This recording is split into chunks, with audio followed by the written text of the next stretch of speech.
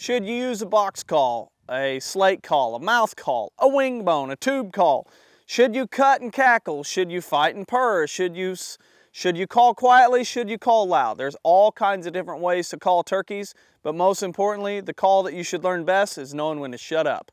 We're gonna discuss it right here on Land Landbeat. When it comes to a turkey, I call it judging his temperature. Now I didn't come up with that, I've heard that for years and years and years, but we're gauging a turkey's temperature. And by that we mean how hot is he or how cold is he? If he is a turkey that's gobbling a lot and he's gobbling multiple times every time he gobbles, he's very hot. That is a turkey that I like to hunt. If he's a cooler turkey, he's gonna gobble once in a little bit, maybe a handful of times on the roost. Maybe he only gobbles one time or maybe he doesn't gobble at all. And he flies down, he gobbles. We at least know he's there, but he's not gobbling very much. Those are tough birds to hunt sometimes. In my personal opinion, they're not a lot of fun to hunt.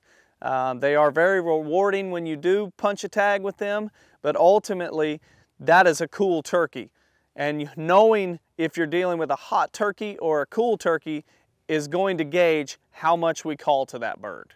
And you don't know what you're getting into when you set up in the morning a lot of times on if he's a red hot fire turkey or if he's a cool turkey. So Initially out of the gate, we're gonna give them a few calls, pretty soft. If they gobble, we're gonna give them a few more calls after a, a, couple minutes or 30 seconds, see if they gobble at that. And ultimately, we're gonna, we're gonna communicate with this bird in calling, and if he's gobbling back at every call, then I'm gonna call, I'm gonna call a little more. And if he continues to gobble, I'm gonna maybe call a little bit more aggressive. If I get aggressive and I raise the volume and he shuts up or he gets quiet on that one, then I'm gonna wait a few minutes, range back down, start calling more mid-range at him, and try to see if he's gonna continue gobbling at that. And if he continues to gobble at it, then we know that this bird isn't red hot, he's lukewarm, we can call to him, but we're not gonna get too aggressive.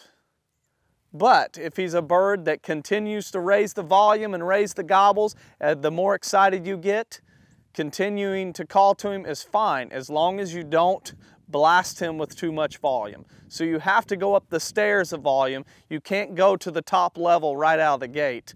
You have to climb with him. And so for me, if I'm in the woods and I've got this bird and he's gobbling to me like crazy, this is my first initial call to see what his volume is or what his temperature is. He's gobbled at me a good amount, but I'm not quite sure if he's red hot. So this is a call I'll make or something very similar.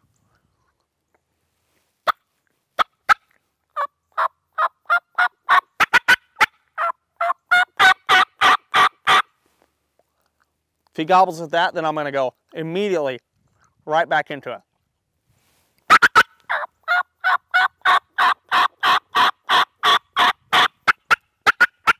And if he continues to gobble, I'm gonna keep pounding him with it. And this is where, to me, I like to call birds and make them gobble. That is what I go out in the spring for. I wanna make them gobble. I wanna see them gobble. I wanna see them strut. I wanna see the whole spring ritual.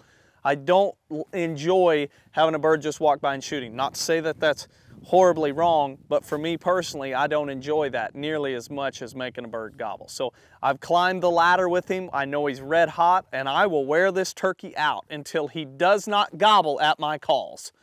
If he's with a bunch of hens, then I don't climb that ladder with him because I don't want to push the hens away and have him follow suit with them. If he's by himself and he's gobbling a lot, I will wear that turkey out. And this is where over the years of all my turkey hunts that people have watched, there's always comments that say that guy calls too much. And I'll always say he gobbled a lot and the bird is dead and it was a hunt that I will remember for the rest of my life. So that's what I'm in it for.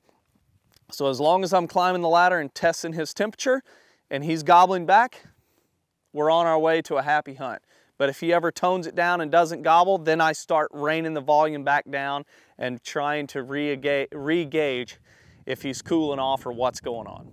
Those are all just tip, quick tips on gauging the temperature of a tom to make sure that you have exciting hunts and successful hunts each spring.